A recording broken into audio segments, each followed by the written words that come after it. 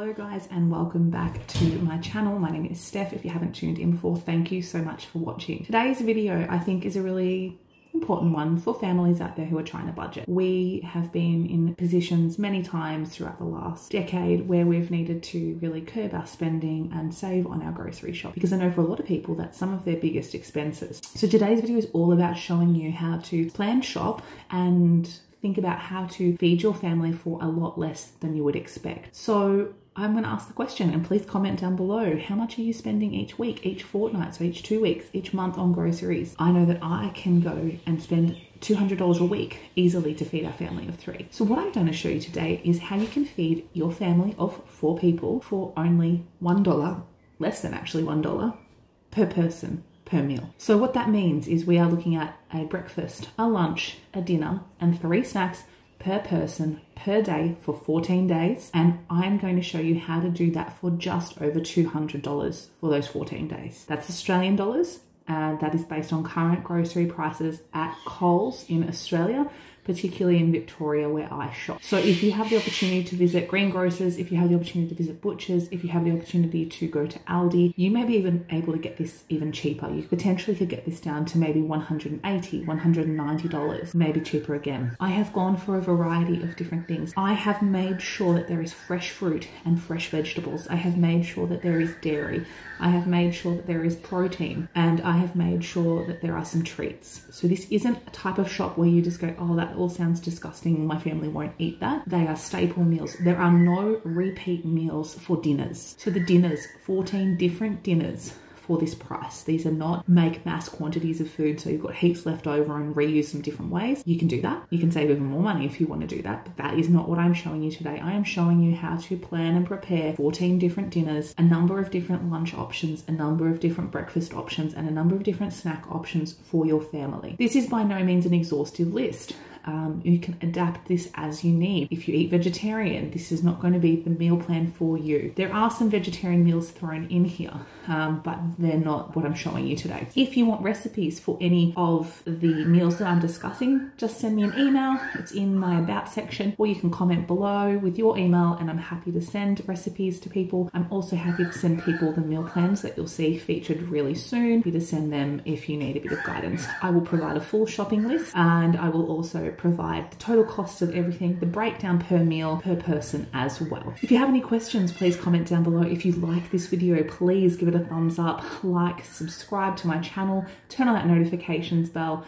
Uh, it makes all of this a lot more worthwhile for me. It makes me feel as though you enjoyed the video and you like the content that I'm producing. I know it gets monotonous and I know everybody's asking you to do it, but we do really appreciate it as creators. So let's get stuck into it. I'm going to show you my initial planning. So definitely, if you haven't already, you want to make plans. These are different lists. One of them has different meal options. One of them's the shopping list. There are a few things I left off the shopping list that I remembered as I went through. I checked off every single meal. You can shop in a couple of different ways. So you can shop based on what you want to cook, or you can shop based on what's on special and prepare around it. This is based off shopping off what you want to cook. Okay, so the meals are already preset. If you don't like to do that, you can do it in many different ways. So that's totally up to you. So there's week one and week two meal plans, and then I'm going to show you how I go about my online shopping with some tips, and then I'm going to show you the finished products of like what I've actually got in my basket, yeah, and then I'll wrap up the video. Thank you, and I hope you continue watching. I thought I would talk you through week one. So week one, we have got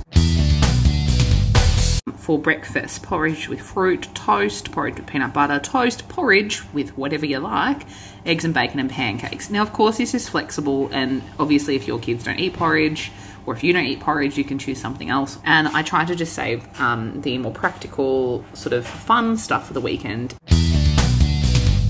Lunch, I wrote sandwich free choice. Like we eat lots of ham and cheese sandwiches, but you might prefer to have Vegemite, peanut butter, honey, jam, whatever. So every second day is a sandwich, and then every other day is something more fun. So we've got pizza wheels, spinach and feta muffins, both of which can be frozen, easy to grab out, defrost by lunchtime, really tasty, can be eaten hot or cold. And we've got soup with bread. I really love a lentil soup, which is the ingredients that I've included in this list, but you could do any type of soup you like. You could do vegetable soup, you could do pumpkin soup, could do, you know, minestrone, really flexible and with all the ingredients that we've got you potentially could do any of those soups with this and an, a zucchini slice and I've done it for Sunday so that we can carry through the leftovers into week two for dinners I've gone with the meat free Monday option. We've got vegetarian chili with rice. Then Tuesday, you've got chicken schnitzel. So Tuesday, I've tried to keep it like a chicken theme. Wednesday is more like a breakfasty type theme. So quiche with chips and salad. Thursday, you've got sausages with vegetables. Friday is like a pasta theme. So this week is spaghetti bolognese with hidden veg. Saturday is like a fake away or like a, you know, takeaway at home type option. So homemade pizzas. And then Sunday, I went for the classic type roast. So you've got roast chicken with veg. Of course, adapt as necessary. You can mix these meals up. They can be any time of the week. Now, you know what snacks your family likes, but I've just done a list of general snacks that I've included in this particular grocery shop. You can adjust it and amend it as necessary. I said pick three, assuming one for morning tea, one for afternoon tea, and something for after dinner if you're so inclined. If you don't eat anything after dinner, that even reduces the cost further and you can just pick two. So I've got celery with peanut butter, biscuits with cheese, fruit, muesli with yogurt, yogurt with tin fruit, chips, savory biscuits, and Anzac biscuits. And they just run throughout the week with things like zucchini slice and with my spinach and feta muffins and with the quiche. If you have leftovers, they can form parts of snacks and things like that as well. Notice that the snacks, breakfast, lunch has barely changed. There is leftovers on Sunday because I'm assuming that you may have quite a bit left over. Um, our dinners have changed though. We've got veg curry with rice for our meat free Monday. For our chicken meal on a Tuesday, we've got chicken pizziola with pasta, rice, and mash. I'll talk more about that and what that is a bit later. Omelette with veg. You've got stew, sausage stew with rice and veg, a tuna bake, tacos, for your Saturday fake away or takeaway kind of style night, and then roast meatloaf with veg. You could interchange that for another roast if you've got a bit more money spare. You might like to buy a beef or a lamb. It's just more economical to eat the uh, mince. Given the current situation, you may obviously want to shop online, so I'm just going to show you how much it costs online. So just make sure that when you are doing this, and you have to excuse my son's run over it, that you've got a really clear list of all the things that you need. Uh, you can be adaptable, obviously, and if you see something that you like that's on special, you can change it up. Luckily, uh, carrots are on special, and I'm going to add two bags of those. You can just drop down and add more if you haven't done this before. I'm not going to show you through everything that I'm doing, but the first piece of advice I have is obviously to check what is on special. You can always just go home and then you can look at all the specials that way and then you can just tick off the things that you need. Uh, otherwise, when you actually look up a product, then you can actually click specials as well. So if I type in milk, for example, and just enter in, then I can look up specials there. Obviously, there's not a lot on special, but that's just an example. And another thing I want you to think about, I had every intention of adding zucchini slice to my list. Zucchinis are not in season really at the moment, and they're $6.90 per kilogram. So I'm just gonna rethink what I'm making in terms of the zucchini slice, and I think I'll probably go down the path of making a different type of slice. So I'll probably add some spinach in with the bacon some other green veg. Um, frozen spinach is a great alternative to fresh spinach. It's super, super cheap you can get it for 99 cents a packet. So yeah, no zucchini slice. And I think you have to be prepared to do that. Randomly saw that the taco kits are actually half price. So with fruit, go through and see what's on special. This week, red seedless grapes are on special, so I will be getting those. And when you're looking, you know, apples, they're on special. Just make sure that everything that you're choosing um, is cheapest per kilogram. Like these large pack of oranges are $1.97 per kilogram uh, versus $3.90 if I bought them. Now, it used to be that chicken thigh was cheaper than chicken breast, but now chicken breast is cheaper than chicken thigh. And if you want to go cheaper again, you can do drumsticks. So you can just alter my menu to include drumsticks. I'm going to do chicken breast just because that's what my family prefers to eat. We do like drumsticks and they're really great for slow cooking in winter. So if you've never tried them before, I 100% recommend giving them a go. Now, when I was thinking of roast chicken, I was thinking of a whole roast chicken, uh, but it's actually cheaper to purchase it. And so I can buy 1.75 kilograms for $9.63, or I can buy 1.46 for $8.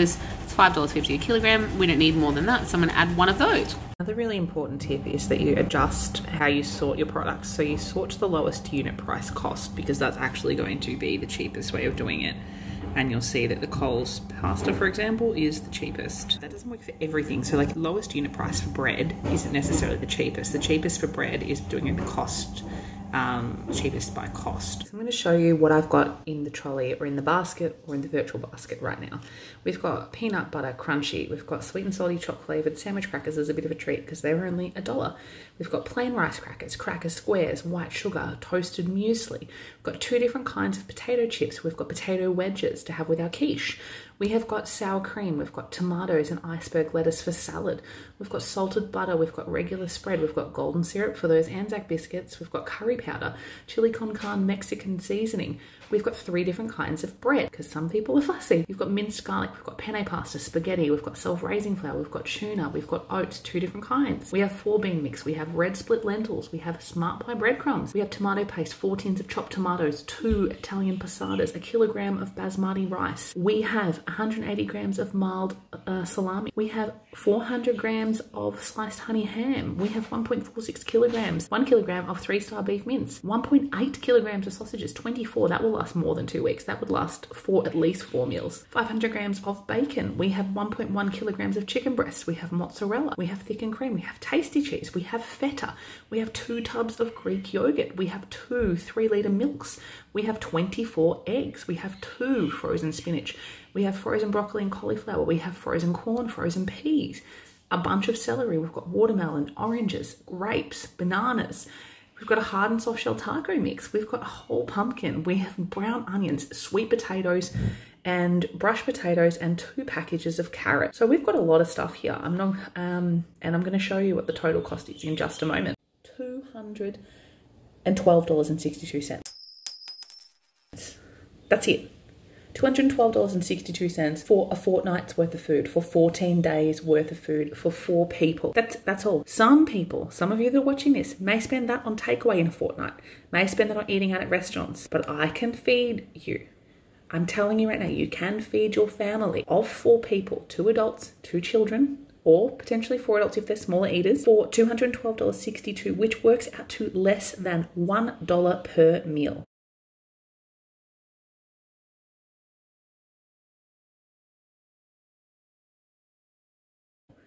And I'm included all three snacks as one meal. But you can get three main meals, three snacks that are relatively balanced, that are relatively nutritious for less than a dollar per person.